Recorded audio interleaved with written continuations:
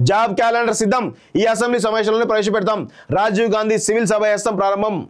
ఆ, హైదరాబాద్కు రండి అవకాశాలు ఇస్తామంటూ కమ్మవాల గురించి. సో నిన్న రేవంత్ రెడ్డి సంబంధించినటువంటి ప్రతి ఒక్క న్యూస్ కూడా కవర్ చేయడం జరిగింది.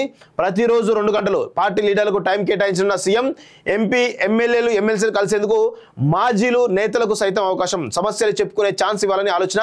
అసెంబ్లీ సెషన్ తర్వాత మొదలు వైఎస్ఆర్ను అనుసరిస్తున్న రేవంత్ రెడ్డి అంటూ ఒకరిని చూస్తాను.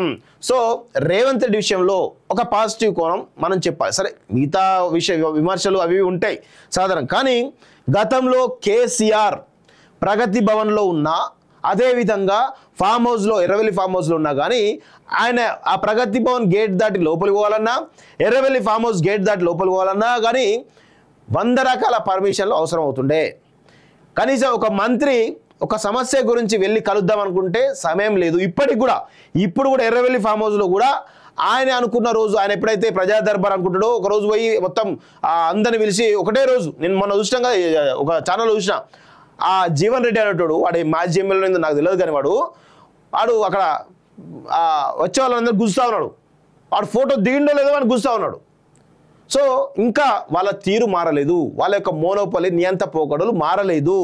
ఎవరైతే ఈ బానిసలుగా ఉన్నారో జీవన్ రెడ్డి లాంటి వాళ్ళు కానీ బల్క సుమన్ లాంటి బానిసలు ఎవరైతే ఉన్నారో వీళ్ళు కూడా మారలేదు. బానిసత్వానికి అలవాటు పడ్డ భక్తులు వీళ్ళంతా కూడా. సో కేసీఆర్ కూడా అదే విధంగా నియంత పోకుండా పోతా ఉన్నాడు. సో కేసీఆర్కు రాజకీయంగా ఇక ఎదుగుదల లేదు. కేసీఆర్ కానీ కేసీఆర్ కుటుంబానికి కానీ అనే విషయం గుర్తుపెట్టుకోవాలి.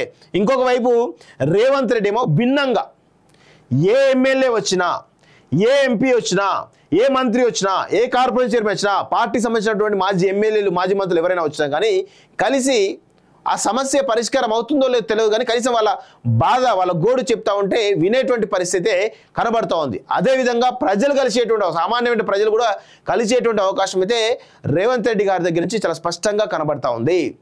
సో ఇది నిజంగా ఒక డెమోక్రటిక్ వ్యవస్థలో మనం చెప్పుకోదగ్గ అంశంగా మనం చెప్పుకోవచ్చు.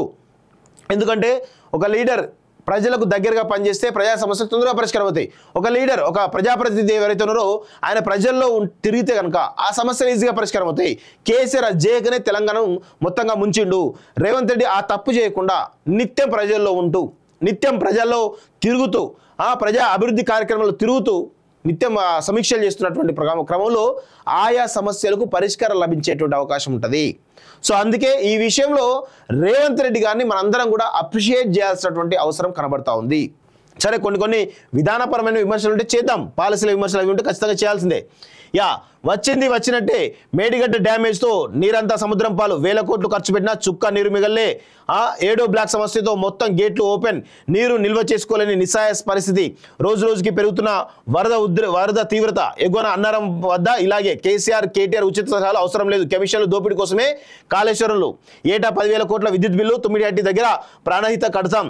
బ్యారేజ్ల కట్టిన నిర్మాణ సంస్థలతోనే రిపేర్ వర్క్స్ మంత్రి ఉత్తమ్ ఎన్డీఎస్ఏ చైర్మన్తో భేటీ అంటూ కొని చూస్తా ఉన్నాం